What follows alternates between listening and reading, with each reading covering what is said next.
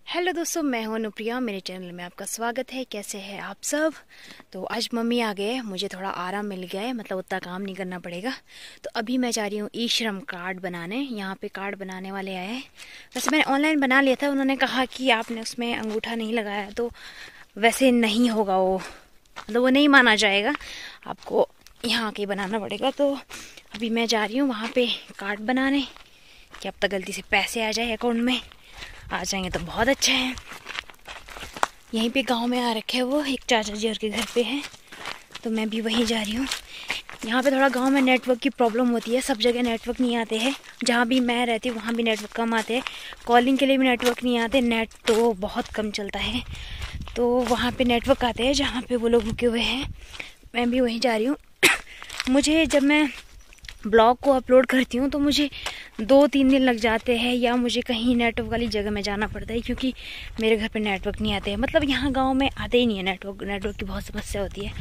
तो लोग बेचारे नेटवर्क के लिए काफ़ी कॉम्प्रोमाइज़ करते हैं यहाँ पर क्योंकि अब फ़ोन तो सबके पास है नेटवर्क नहीं आ रहे, कोई भी नेटवर्क यहाँ अच्छे से नहीं आता है।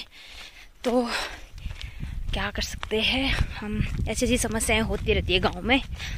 तो हम लोगों को आदत भी रहती है ऐसी समस्या के साथ रहने की।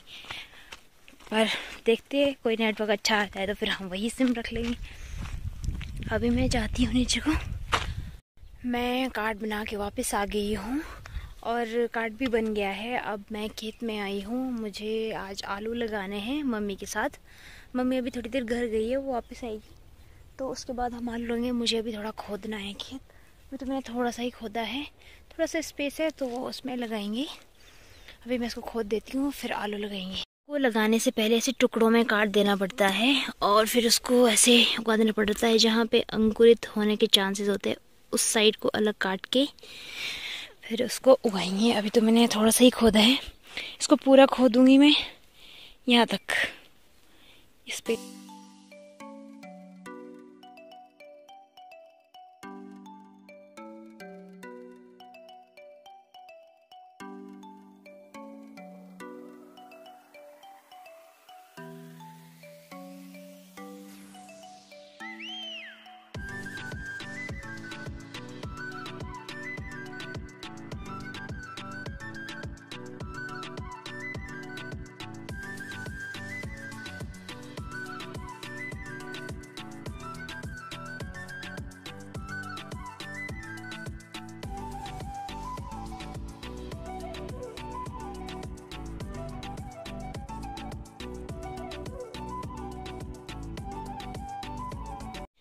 मैंने और मम्मी ने खेत खोद लिया है।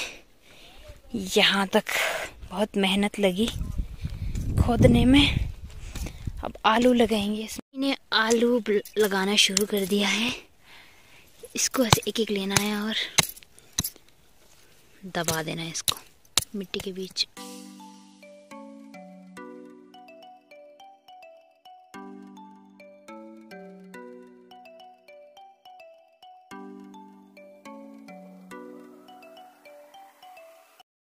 मम्मी आलू अकेले लगाएगी मुझे घर जाना है क्योंकि मुझे अब खाना बनाना है।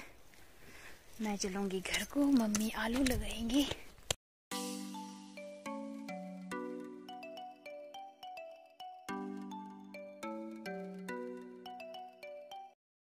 तो अभी मैं बना रही हूँ मुड़ी। मैंने ये एक स्नैक्स जैसा होता है, इसको चाय के साथ खा सकते हैं और ऐसे भी खा सकते हैं। चलिए मैं दिखाती हूँ कि मैं कैसे बनाऊँगी ये है मूढ़ी।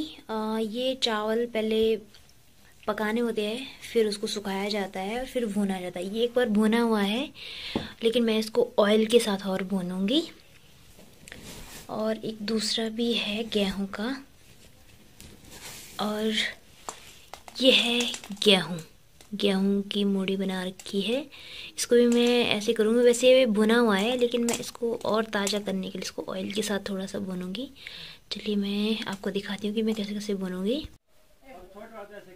तेल हो गया है गरम और ये है छन्नी। मुझे इसके अंदर डालना है और फिर गरम तेल में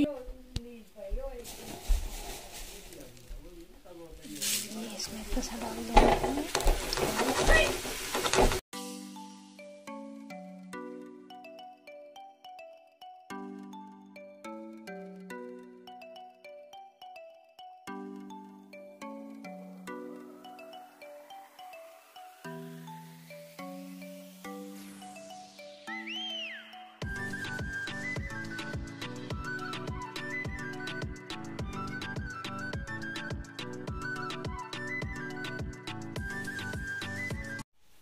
मूढ़ी बन के हो गई है तैयार। ये है चावल का और ये है गेहूँ का।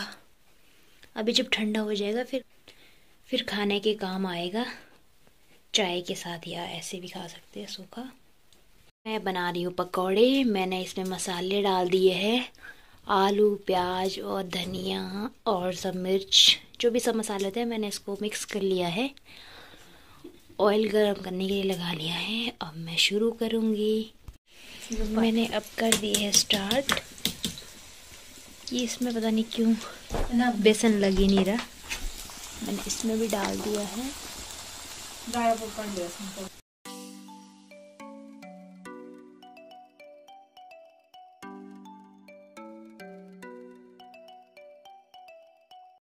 वीडियो देखने के लिए धन्यवाद। अगर आपको वीडियो पसंद आई, मेरे चैनल को लाइक करें, शेयर करें, सब्सक्राइब करें। Thank you. जय हिंद।